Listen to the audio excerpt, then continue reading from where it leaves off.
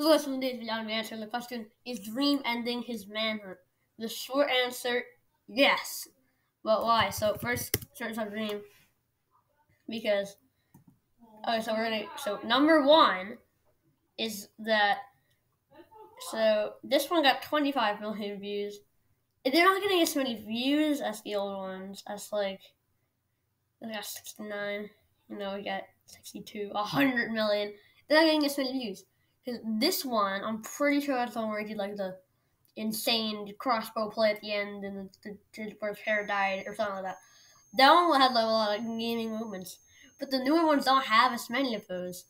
He might be taking a break from them to think of better plays to do. And obviously, he can't just keep adding more hunters. Five is like insane, but he can't do like six, seven, eight, you know. I'm not saying you couldn't just add like a twist like in the nether or the end. I don't, I don't know if the trend's gonna die out either for like some YouTubers like Kieran Dev, uh, Hissy, some other guys. So that's a Dream is gonna be ending Minecraft Manhunt. He will it's not ending, but taking a break.